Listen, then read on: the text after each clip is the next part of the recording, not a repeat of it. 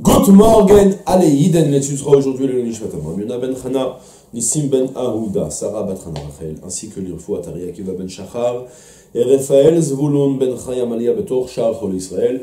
Si vous souhaitez aussi d'aider une prochaine étude de Mishnah contactez la 5 minutes éternelles, nous étudions Masechet Avot, Perik Dalet Mishnah Aleph. Ben Zoma Omer, Ezehu Chacham Alomed Mikol Adam, Sheneemar Mikol Melaemedai Hiskalti Ki Edotecha Sichali. איזהו גיבור הכובש את יצרו, שנאמר טוב ערך אפיים מגיבור, ומשל ברוחו מלוכד עיר. איזהו השיר השמח בחלקו, שנאמר יגיע כפיך כי תאכל, אשריך וטוב לך, אשריך בעולם הזה וטוב לך לעולם הבא. איזהו מכובד המכבד את הבריות, כמכבדי אכבד ובוזי יקלו. משנה relativement connue, que Bezrat Hashem on va tâcher euh, au mieux d'expliquer malgré tout le principe. Le Tiferet Israël rapporte, il introduit cette Mishnah en nous disant qu'il y a quatre valeurs pour lesquelles l'homme voit en elle un rang de distinction et donc déploie plein d'efforts pour les obtenir, pour les atteindre, et en fait, il définit mal ce qu'il attendait et il se plante, il fait le contraire exactement. Ces quatre ma'alot, ces quatre valeurs, ce sont la chokhma, la gvura, le Hosher et le Kavod. La Chokhma, la sagesse, quelqu'un voit en un homme sage, quelqu'un de distingué, quelqu'un de noble, quelqu'un qui est au-dessus de tout le monde. Idem encore pour quelqu'un qui est gibor, qui est fort, ouais, dans le sens il est distingué, il domine les situations. Et Ha-Osher, la richesse, on voit dans un, un homme riche, aisé, euh, quelqu'un de distingué, que, au contraire, qu'on a tous besoin de lui, de son aide, de son conseil, de son pognon en fait. Et le quatrième, le kavod, bien sûr, quelqu'un qui est noble, de, de, de, naturellement noble, de, de On a tous, on voit tous en ces quatre valeurs une distinction, donc un, quelqu'un qui a réussi sa vie quelque part parce qu'il excelle dans un de ces quatre points. Et puis, donc, on a tous envie nous aussi de déployer des efforts et de les faire, et on fait exactement le contraire. On déploie les mauvais efforts et on se plante. Et il vient Benzoma nous enseigner comment rectifier le, rectifier le tir, comment nous expliquer par définition c'est quoi la définition de chacun de ces quatre choses, pour, ça, pour nous apprendre comment justement bien investir et ne pas perdre là où il ne fallait pas les perdre.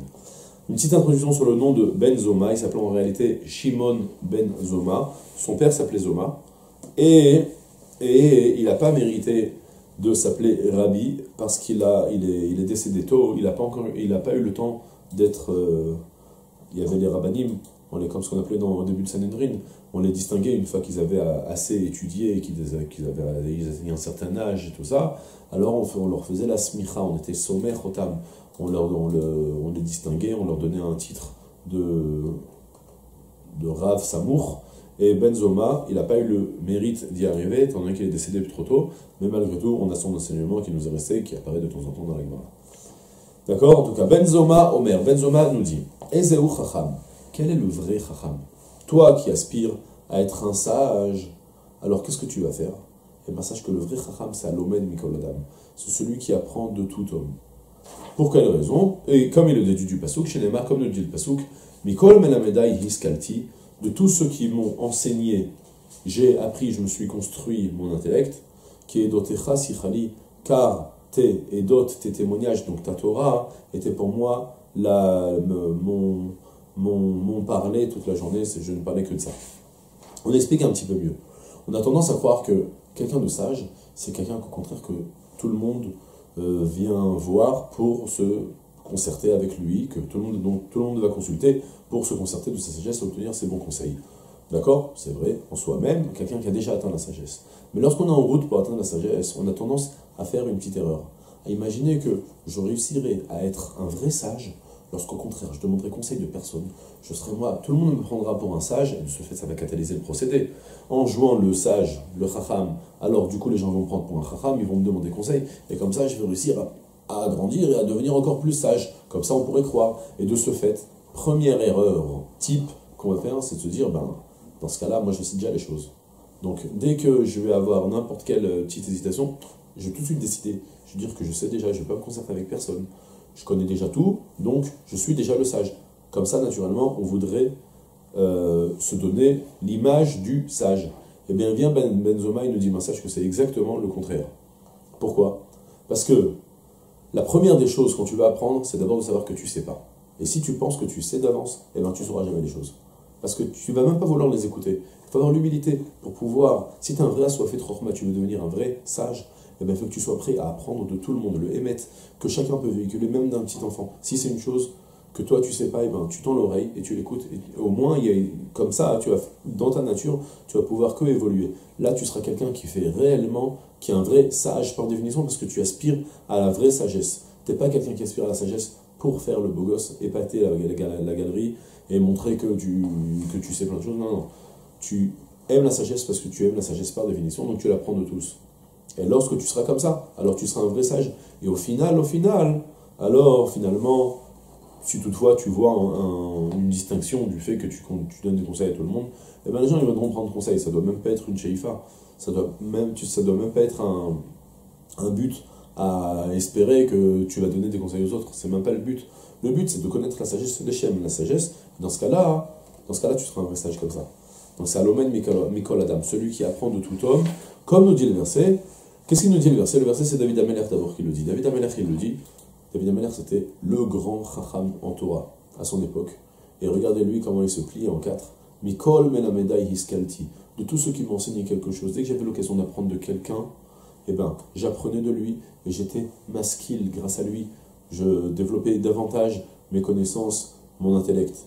Qui est parce que mon but de tout, de tout, de tout ça, ce qui était ma sira, mon parler, ce que je parlais toute la journée, que j'aspirais, c'était Edotecha, connaître ta sagesse. Et de ce fait, David Amalek, il se pliait à tout le monde pour écouter le émettre de chacun. Ensuite, Ezeu Gibor. Quel est l'homme fort? L'homme qui domine bien les situations C'est celui que tout le monde tremble de lui? Pas du tout. À Kovesh et Isro, celui qui réussit à dominer, dominer son Yetzer, son Yetzer Akana, son Yetzer bien sûr, son instinct, ses pulsions, quand il a envie de s'énerver. Et le principe, c'est de nouveau le même. D'abord, on rapporte le pasouk chez les comme nous dit le pasouk, Tov Erer Apaim Migibor, il est mieux, le Erer Apaim, c'est celui qui est patient. Il est mieux le patient que le fort, que l'homme fort.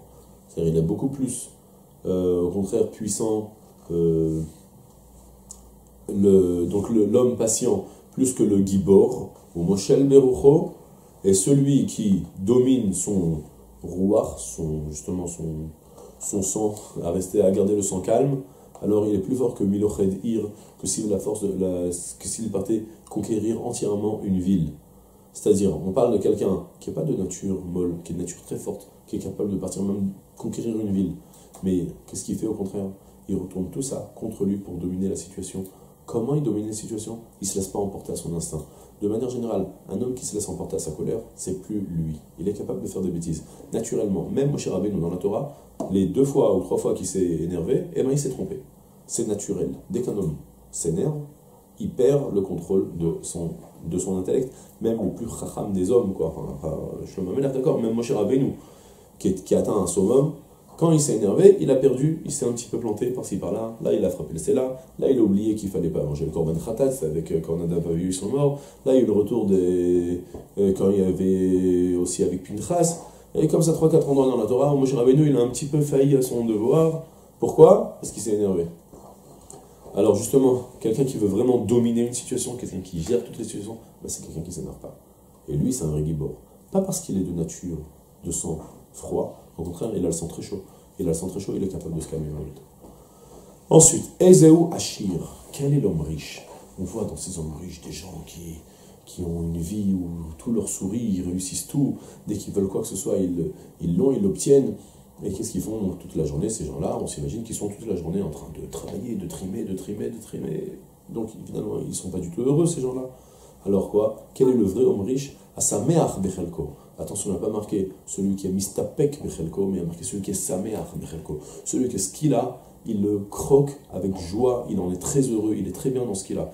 Et lorsqu'il est comme ça, alors c'est lui le vrai riche. Il a besoin de rien de plus tellement qu'il est sameach, il est très comblé par tout ce qu'il a.